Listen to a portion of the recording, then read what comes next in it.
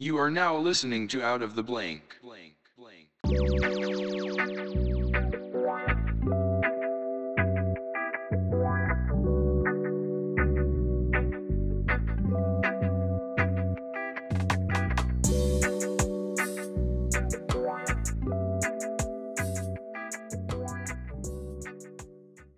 Well, welcome to another episode of Out of the Blank podcast. I'm here with Erik Ostrum.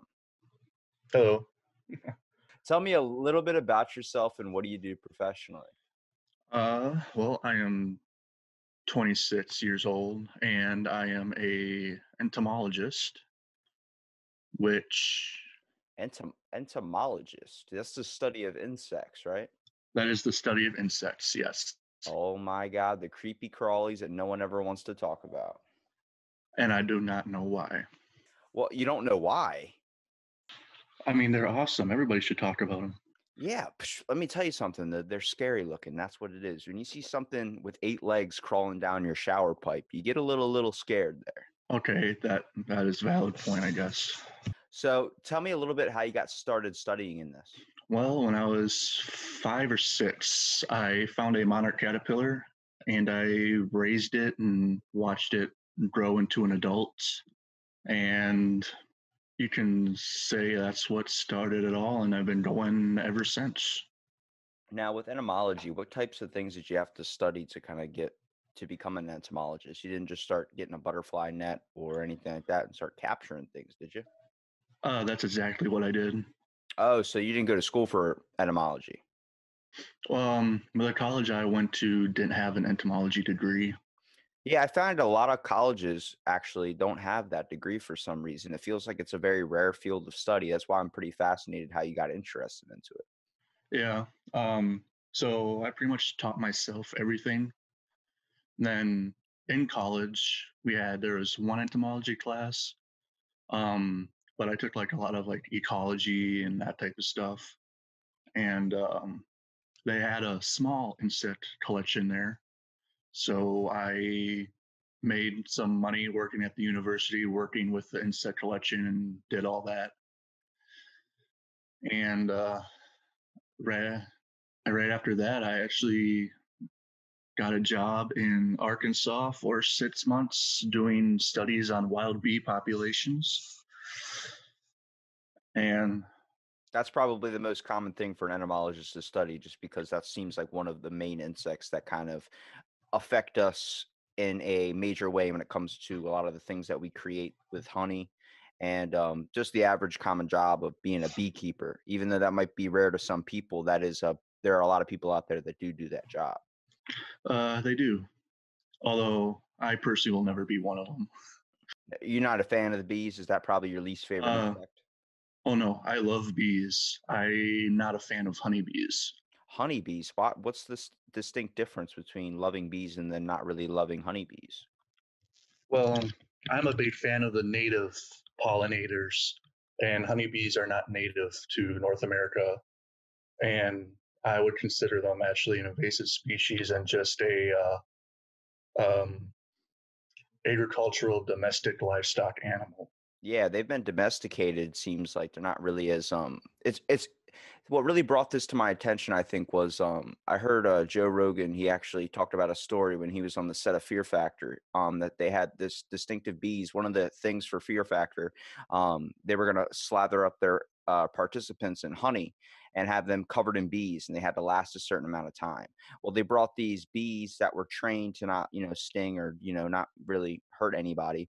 Um, into the like area and this other wild like random bee population arrived and the people had to leave the set so these bees could work it out. Like they literally were like at conflict with each other. Mm-hmm. i think it's fascinating when it comes to insects how much people are willing to squash it or disregard it instead of carry it outside. I mean i remember my cousin he took this video on his phone and i swear it was something off like a nature documentary. It was literally him videotaping a spider that caught a fly in its web and he's showing me this video. I'm like, what the fuck are you showing me? Like, what, what am I staring at here? Like, what are you doing? And he's like, just watch. And I see this fly, like, kind of scrambling around in this web, trying to get out, trying to get free. The spider runs down, wraps around it, one web, comes back up, ties it up, comes back down with another web, and you get to see the string of web, and just keeps doing about seven or eight times. And then at the ending, he zooms in close to the fly's face. The fly's arms aren't moving, wings aren't moving. Bam, just teeth marks right to the head. I was like, holy crap, you literally just captured nature in its purest form. He's like, isn't that insane? Yeah, if uh now uh fear of spiders is like uh understandable and definitely out there. But uh, if someone ever gets a chance to actually like see that type of stuff happening, you sh- they should really take a look at it. It's actually really fascinating to see. So, what types of experiences have you had that really kind of stuck etymology into your head? Now, we talked about kind of like the start when you were a kid and stuff. I mean, I had a butterfly net too, but I never wanted to learn anything more besides maybe catching some fireflies or maybe watching a caterpillar grow up. hmm Um, well, just that process of metamorphosis from aid to adult, that's just fascinating in and itself. But also the sheer number and variety. I mean, it's absolutely ridiculous. And they're once you actually just walking down the road, you look in a ditch, you can see stuff you've never seen before in the same area throughout your whole life, and they offer an endless variety of uh, observation. Well, you got to explain some of this to people, like, because unlike me, I don't, I have no clue, like, where you could even find fascination with the etym- etymology. Give me your experience a little bit of what is so fascinating about it, such as like, was it a certain thing that you learned? Was it like you're saying, the metamorphosis? Like, what's the process through that? A lot of people are just going to hear that word and are going to be like, is that from Transformers? Like, okay, so uh, well, metamorphosis in a nutshell is the transformation, pretty much uh, the life cycle of an insect. Uh, so for uh, excuse me, for uh, butterflies, for example, you have the egg, the larva, the pupa, and then the adults. And that whole thing's like the metamorphosis. So for butterflies, just the method of laying eggs differs between species and species. Some species lay it on only a certain uh, type of leaf on their plant, host plant. Uh, others can lay thousands of eggs, but not hit uh, lay it on their host plant at all, and the caterpillars have to travel to find their host plant. now a host plant, that would be like something they're connected to. The host plant is what the caterpillars eat. Um, and there's whole bunch of species that only eat one type of plant. Um, while other species can eat dozens of different types. But uh, they lay the egg, and then the caterpillars hatch, and then they molt and grow, and then they create their pupa, which is probably what most people who like raise them and stuff find the most interesting. And they can be all shapes and colors and all that type of stuff. Besides, besides becoming a teacher uh, that you can do as an entomologist, more like trying to educate people on insects, what other job things? Only other thing I can really think of is maybe military, where they go and travel somewhere and might have to encounter a certain type of species that um, they should be known about, such as like I know a lot of insects carry things like malaria or um, something dangerous that is not too relative here. It seems like uh, a lot that happens to do with entomology besides the study of bugs is also kind of being aware about their relationship with people as well. Oh yeah. So like you mentioned, there's like the teaching stuff. Um, there's also like the uh, taxonomy realm. So like a lot of entomologists work in museums, and uh, they're the ones that actually look through collected, preserved material and uh, describe new species and all that type of stuff. And the ones they're the ones that like go out in the field to do the big surveys and all that type of stuff. Um, then there's stuff like I do.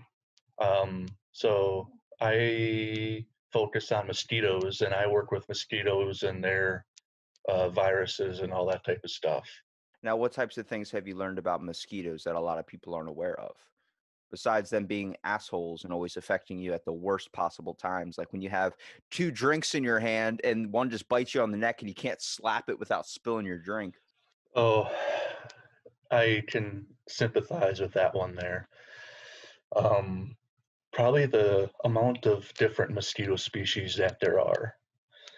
Um, there's over, if worldwide, there's over 3,000 species just of mosquitoes just of mosquitoes. Yeah. that brings a good point to um cryptozoology there's about seven i think it's like 7.6 uh either million species that they estimate to be left discovered on land and about 2.2 left to be discovered in the ocean and a lot of people are like there's no way there's no way there's multiple variations of a rhino there's no it's like a lot of the animals that are left to be discovered on land are surprisingly mostly probably insects only because of a different species can differ from a simple characteristic.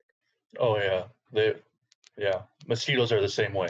So like when someone says like, "Oh, I killed a mosquito," it's like, but you probably know that maybe the type they're talking about. Like, what's probably the most common mosquito that a lot of people run into?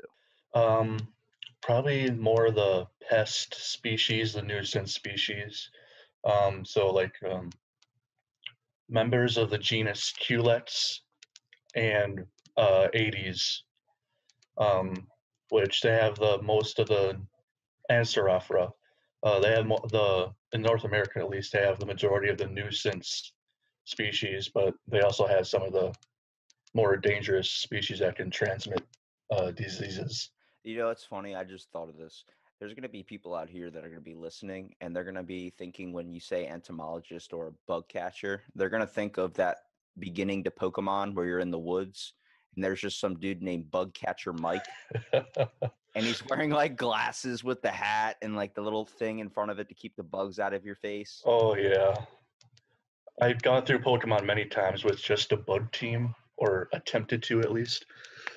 See, that's a great thing. Uh, I always talk about how our education system should kind of focus on maybe asking kids what they want to learn and something they might want to do or their interests are to figure out if that's something they want to correlate with later in life.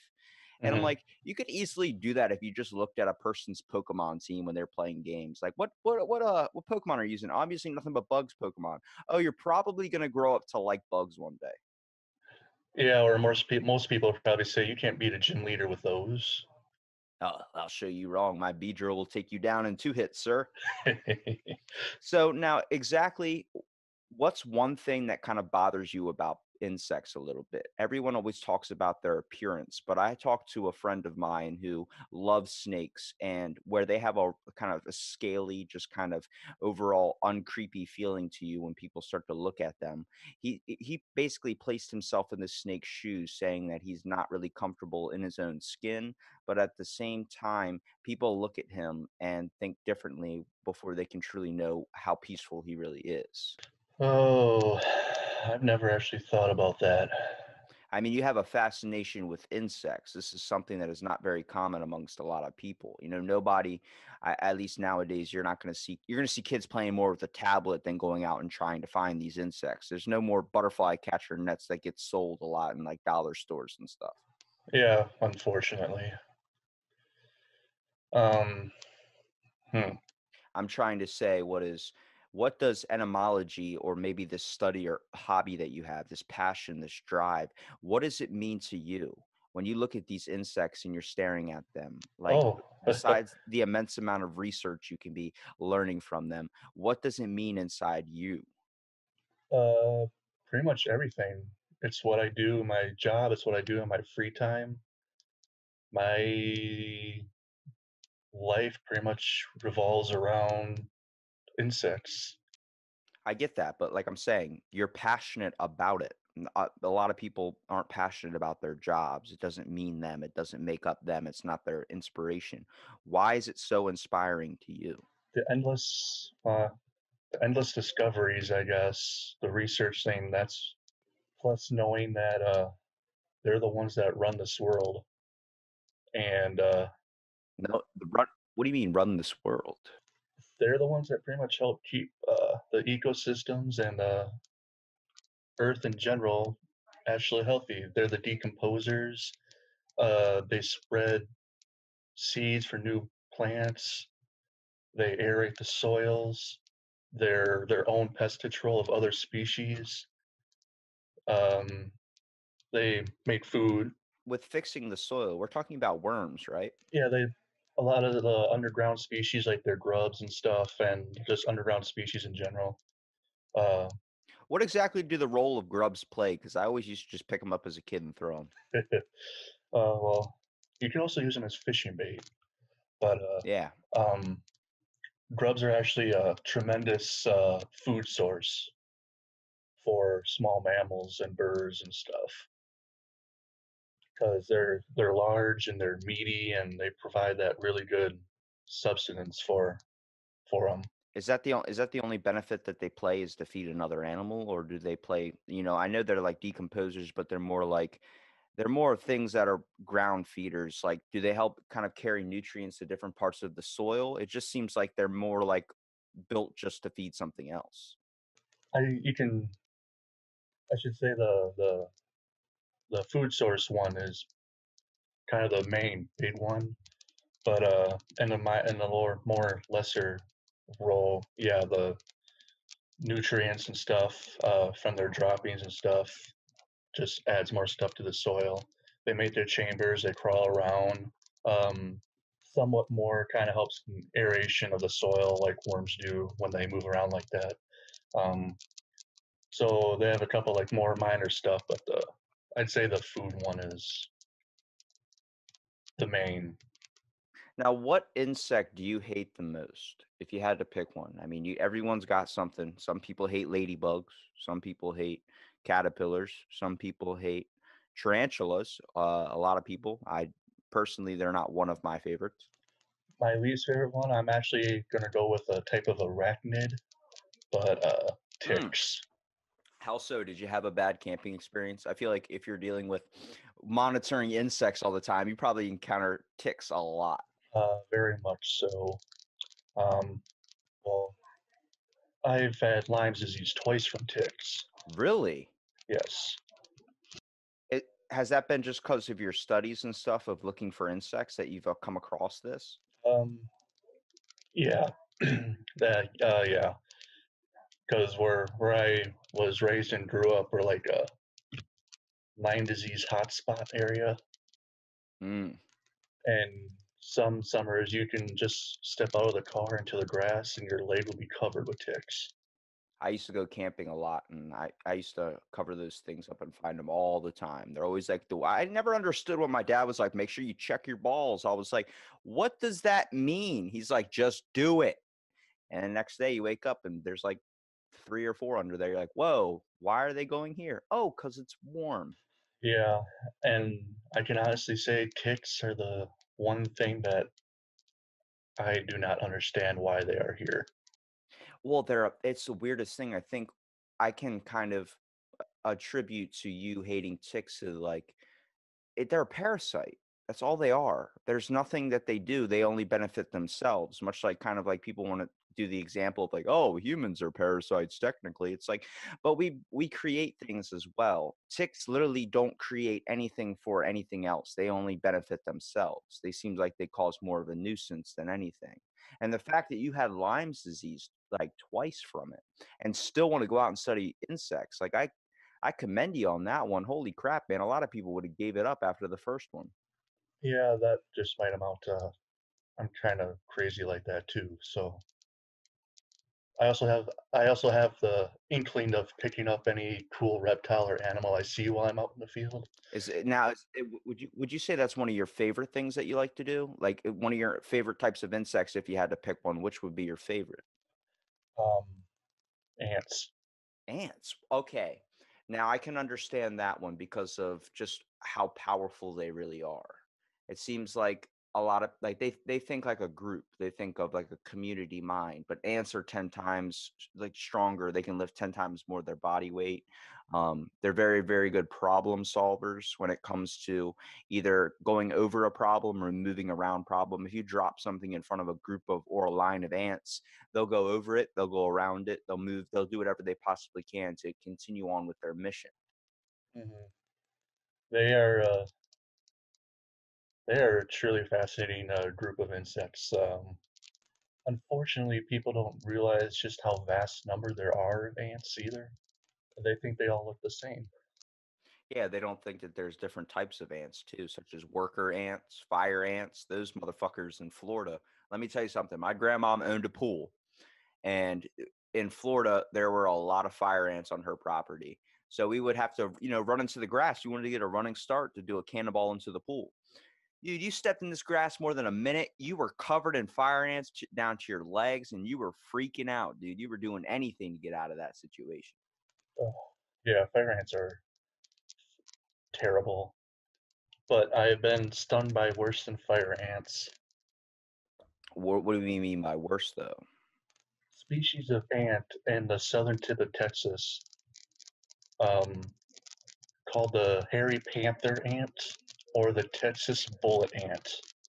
And those suckers, who the workers are probably three fourths of an inch to an inch long, and they have, I would say, the most painful sting of any ants in North America. I don't know if you heard the stories like of like the true bullet ants down in Central America.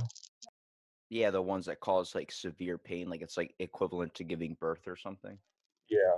Um, when you have an ant called the Texas bullet ant, you kind of have to make that connection. You're like, hmm, why did they name it that? And uh, if you get stung by one, you'll understand why they named it that. I feel like um there's like a, there's a guy on YouTube I think he goes and tries to get stung by these crazy insects and stuff that uh would you say for someone that is trying to become an entomologist someone that just wants to research because it feels like this type of thing is like what used to be back in the day when someone used to collect um you know types of like uh Pokemon cards or comic books like it seems like that kind of shifted now in society today a lot of people are a fan of what they used to call nerd culture. It seems like it's being the the primary thing. A lot of people are just interested in what superhero movies wearing a superhero t-shirt. It's not really being a nerd is cool is what i would say. With kids that are trying to be an entomologist it seems like they're they're they're they're really really isolated from people just because they find a fascination with bugs and it's something a lot of people just find disgusting. What would you say for people that are in that position where they feel like they want to research bugs but they don't want to be seen as weird? Um, well, I was I was kind of in that same position because I know for a fact I was definitely the only person like within the surrounding cities who actually enjoyed and bugs and stuff. Um, and, and plus, as as I got older, it always seemed increasingly weird to have a grown ass man with a butterfly net running in the field. hey you're catching more than you're catching more than insects you're catching hopes and dreams my friend Exactly. So it sound I I all I can say is embrace it.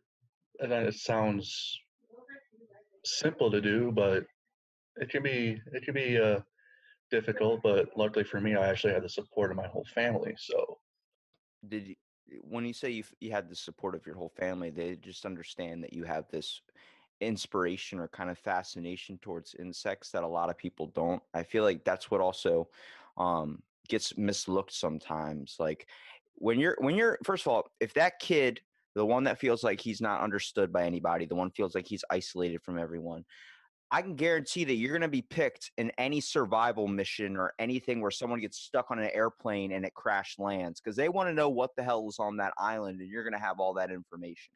very much so. People will people might think you're weird, but if they see a creepy crawly that they're not sure, they'll sure as hell send it to you and see if you can ID it for them. Um, so when it comes to that, they really they can be happy that you know what you're doing.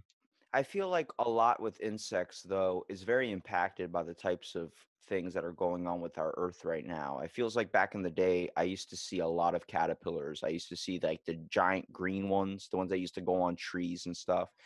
And then I used to see the these ones that had hair on them. They were like brown and black. uh, the woolly bear.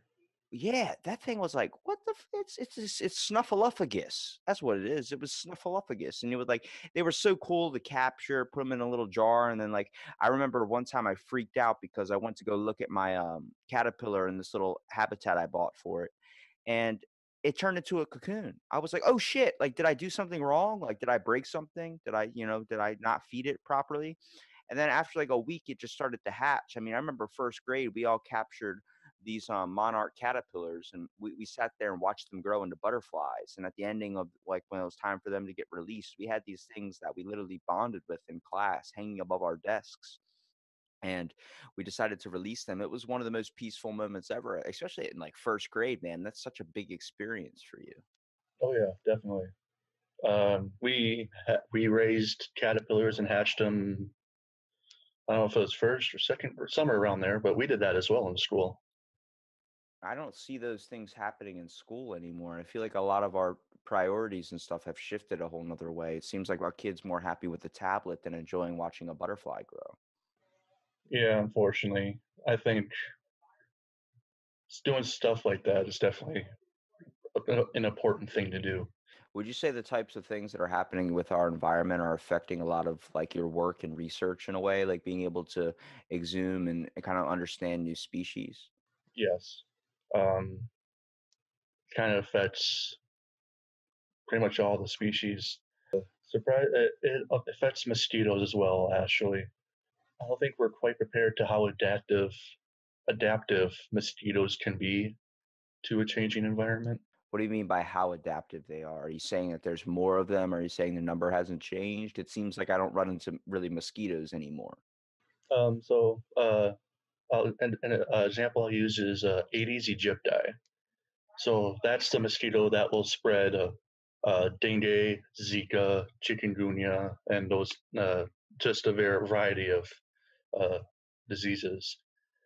But they are a warm, tropical, more humid loving species. More human loving, such as like they're just Humid, well, human and humid. Humid. So are, are they saying that they don't bother us as frequently as other mosquitoes do? Oh no, they they like to be around us. Oh, those sons of bitches. Yes, but they're a tropical warm species, and they really like the humidity in the air and stuff. Yeah, there's certain types of uh like climates and stuff that bring out certain insects as well. You know, like if you think of like I'm, I'm about to paint a picture for you, much like Bob Ross here. So imagine like it's a misty kind of like night. It's kind of just like sun's just coming down. You're looking out into your backyard. You get to start seeing like back on the day you would see fireflies. You would see those things just Mhm. literally feels like it's like it's not really humid and it's not really cold. It's just just the right temperature. We got a short sleeve shirt on. You're seeing fireflies go around. That was a thing that a lot of us kids used to do. We used to capture these things and put them in a jar. Hopefully, you poked holes in them so you didn't kill them all, but you had them in a jar. You get to look at them at night. Now that has completely shifted. It seems like there's not enough time for those moments as well, such as like it seems like it gets darker faster. Um, it seems like the weather's kind of always flip floppy, and you never get to see lightning bugs anymore. Uh, yeah, that's uh, very true.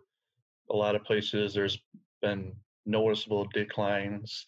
Um, of course, there are still a lot of places where they are still there, uh, but yeah, with the changing, uh, fireflies can be pretty susceptible to that too, because they require larvae require like pretty much water type like marshes, uh, swamps. They like that really high moisture.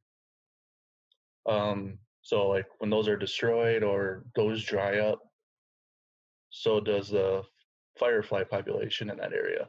Now, through your research and stuff, like take me through the beginnings of your research. Like, how do you start off the process of researching? Do you get your kind of like, like, do you have to get your notes? Do you have to bring pen and paper? What equipment are you using? Like, what, what how do you go out and try and at least do a little bit of your work? Um, it's like the the beginning process of it. Yeah, take me through your whole process, the understanding, the documentation. I know you have to be writing some of this shit down. I mean, there's no way you can just remember it all.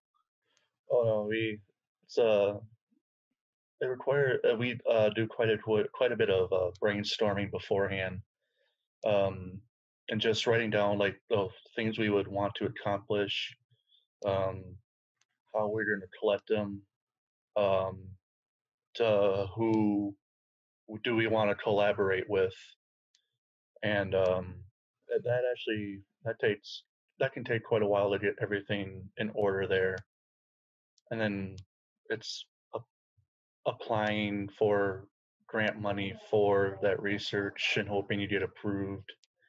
How do you pitch off? How do you pitch off something to somebody to, you know, be able to get research funded for something like this? It seems like you're a lot of the times people are going to look at you like entomology, like you want to go study insects to go out there and study them. It's free, it's open air, but it's like there, there has to be resources that have to be involved as well.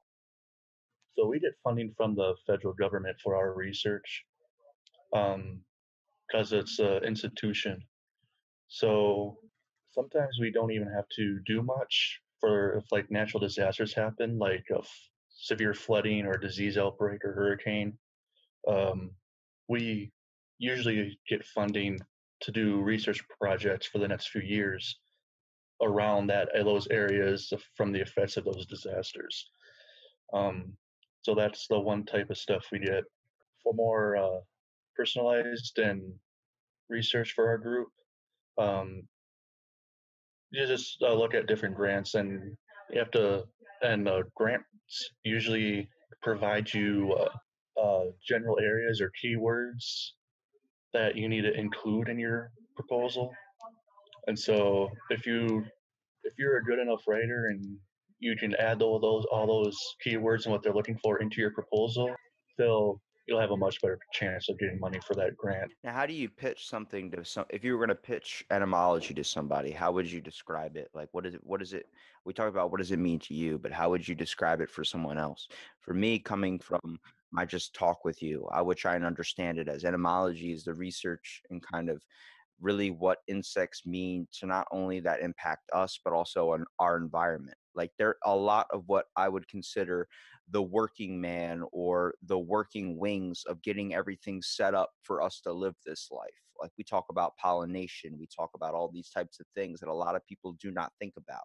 A lot of people walk out their door and they see a flower and they're like oh whoa, that flower had to grow from something all the rain everything. They always chalk it up to the fucking rain. Did you know that maybe that was not supposed to be there? Maybe a certain bug or something carried or maybe the wind or something drifted off a certain seed that lined up perfectly and it had to be pollinated in some way? It's like the movie uh, Bee Movie. I remember we watched that like in like fifth grade or something, and it was it made people think of bees differently. Mostly because a lot of people just thought that's where they got their honey, but no one understood that if the bees are gone, flowers are gone too. I guess I would say uh, entomology. Welcome to how the world works. How the world works. I like that. Put it on a T-shirt. Oh, that's a good idea, actually. Now, what types of materials are you taking to kind of discover bugs? Are you taking a journal? Are you taking, uh, obviously, you're probably taking a net or something, right? Unless you're grabbing these things with your hands. Um, so in my in my free time, I I work with pretty much all insects, and so I go out, and my goal for me personally is to re- discover new species, especially ants. Um, so I go out, I have my net, I have uh, dating tools, um, I have my field journal, um, and a camera.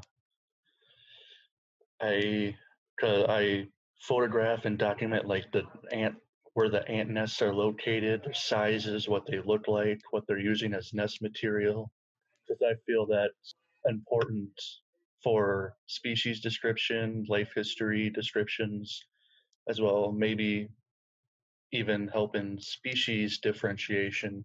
You never know. Um, so I try and at least write down, take pictures, document all that I can, because some of it might not seem they'll do anything for you, but they're insects. There's always a possibility that the most obscure thing that you might not think any anything about is probably to be the most important thing. Now, when it comes to identifying a characteristic that can define a different ant species, how hard is that? Because just based on how ants are so small, it seems like a lot of already has been discovered. How do you discover a new species of ant? Uh, extremely high magnification. Um, because some differentiation between species can be so minute as the angle of a certain body part or the angle or or a number of uh, hairs in one spot or the indentation or the number of pitting in a certain area. So that's how a lot of species are. Unfortunately, they made uh, insects kind of made sure they don't make it easy for us. Um, there's some species that look can look widely different, even in the same nest, but they vary so much that you don't know if a different species that looks exactly same is actually the same species because they can look like three different species, but they're just the same one. Um, so that's where like a molecular and DNA analysis is as it, as it, it's hopefully cheaper. That's going to be the best way to differentiate species. Now, if I had to ask you, what is your most memorable thing with an insect, whether it was through your travels or whether it was something as in a kid? Do you uh, how like can you explain it a little bit to me? Like, what's one fond memory? I always kind of I remember this one time I met a gray mantis and I picked it up and I, I, knew they could fly because at this time it was when I was a kid. Bugs Life was out for PlayStation, so I, there's a mission where you get to fly as a praying mantis. So I was like, these things can fucking fly.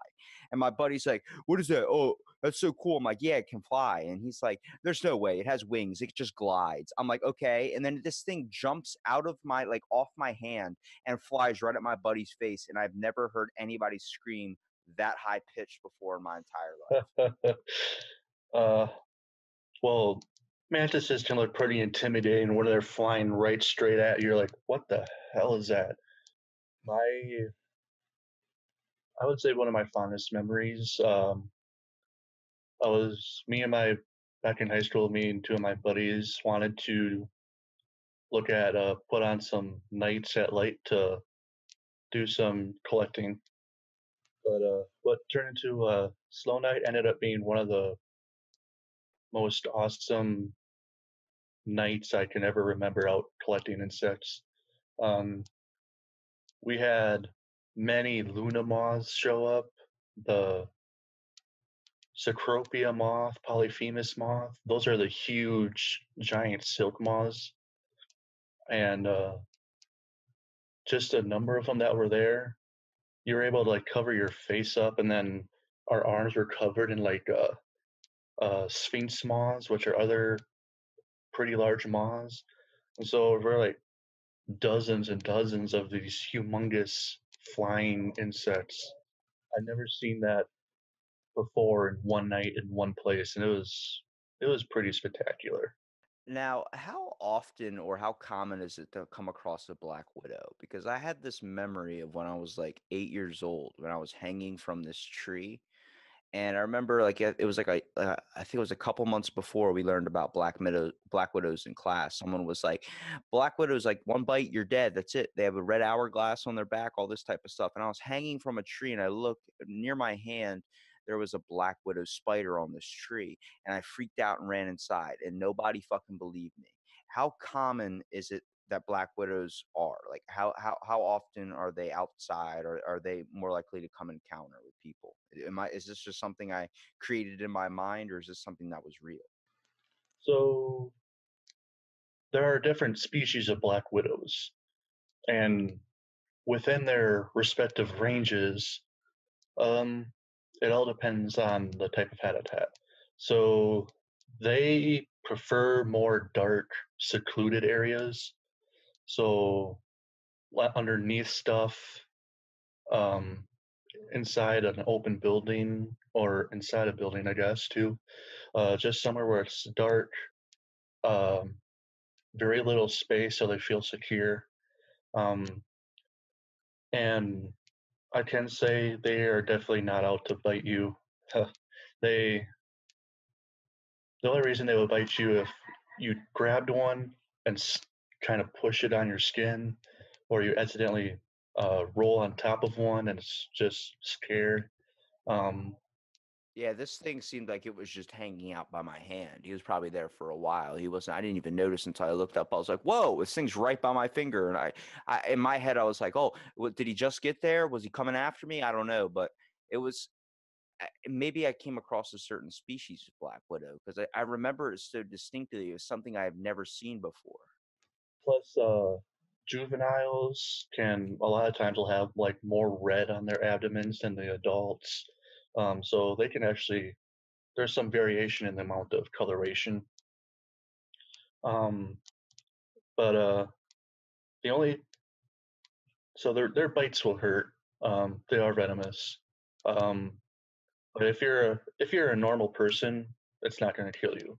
I thought I was gonna get superpowers like Spider Man when that thing was near me. I was like, I could have been Spider Man if this. I feel like that's what also increased a lot of fascination with people and insects when Spider Man came out. Oh, I would say so. Yeah. There were people out there that were buying tarantulas, like bite me in the neck, give me powers. I own tarantulas. I don't do any of that stuff anymore. Okay, maybe I'm the weird one. Well, when it comes to like, I think a lot of people also relate to when it comes to bugs as well. The common ones that a lot of people on like the East Coast can be surrounded with, which is which are cicadas. Um, people commonly refer to them kind of like the nighttime callers, the ones that always come out at night and do these things. And they're actually wrong about that. Cicadas actually do a lot of their stuff during the day. I never really knew much about cicadas. I thought they were like if you take those snake eyes, those metal rocks that connect to each other and they make like a bzz noise. If you take them and throw them up in the air, I thought that was just some. I thought it was my neighbor basically throwing rocks around. I was like, "Damn, he's out there throwing rocks again." It's like, no, those are cicadas in the trees. And I'm like, "What's a cicada?" And I remember a little bit later on, I came across a wasp that stung a cicada and it was dying in front of me and i was just looking at this ginormous like looked like a horse fly but it was like so weird i didn't want to get close to it. I think a, a lot of things like that can defer in people's minds and it's pretty interesting to find out what it truly is like what type of species of insect that is as well. A lot of people just want to you know crush a bug throw it out the window or something instead of actually taking the time to classify it and see what it actually is Yeah. Uh, um, the mentality for many insects is uh, squish f- first, ask questions later. I, th- I definitely think so, especially when it comes to like, it seems like every time someone encounters a spider where they need to kill it or set the house on fire, it's in like the worst possible times. Like, can we just make an agreement? Like, bro, I won't bother you if you don't bother me when I'm taking a shower. Those type of things are. So I'm on Facebook. I'm I'm on a couple insect identification pages, and uh, you have no clue how many of those pictures that get put up of parents asking for IDs of a squished spider because they're afraid of the spider going after their children or chasing their children or attacking their children. So they squished it and then they send us a picture and want us to try an ID. Like, first of all, IDing a spider in a picture in the first place is extremely hard, let alone having it squished where you can't see any of the of, of the things to features and makes it worse. But the worst part is they all 95% of them all swear it's a it's a brown widow or a brown recluse. Yeah, yeah. I've actually a lot of people I know actually like uh, got bit by a spider, and I think they created what like a placebo effect where they're like, "Look, it's swelling. Look at this. Oh, it's burning. It's a this sensation." I'm like, "Is it really, or are you just creating all this in your head?" Don't get me wrong, spider some spider bites can like feel like a can itch a little bit. You might get a little like a mosquito bite type thing, but really none of them are out there to go after you. They're they prefer to be left alone. It's unfortunate, but What can you do? slowly but surely we're trying to educate people on that aspect. It's hard to be of understanding of something that looks so different from us. You know what I mean? I feel like that's where a lot of people's judgment comes from is when something looks different than you. Yeah, that's that's a very good point too. Well, Erik, I really appreciate you coming out and doing the podcast and kind of educating people a little bit on insects in general. Maybe opening up some people to, hey, let's go out with our butterfly nets and catch some shit. Oh yeah, if you have a chance to do it, I suggest you do it. Once you start looking at, once you see butterflies, and you'll start noticing other insects, and then you'll start noticing more of the smaller ones, and it- it literally opens up a whole new world to actually observe and enjoy. Well, I want to give you here a minute at the end to kind of promote your YouTube page as well, so people can find a little bit of your research and work. Uh, yes. Um, so both on Instagram and YouTube, I have the Daily Entomologist uh, stuff. Post uh, of my, I go out when I'm out uh, looking for insects or working on my personal collection. And I do videos, post it on the Daily Entomologist YouTube. Um, and I do a lot of photography uh, of insects and stuff. And so the Daily Entomologist Instagram is where I post all those pictures. And if you want to, I I like to think I post uh, some cool, not very often seen stuff on there. Um, It's definitely some interesting stuff. yeah. So yeah, if anyone's interest, interested in that, give them a look. It'll make your skin crawl a little bit too. I'll tell you that. Seeing some of the pictures on there, I see the up close pictures of all the spiders and insects. I'm like, oh my god. Yeah, I get up close and personal. Well, thanks so much, Erik, for being on the podcast, and stay tuned for another episode out of the blank.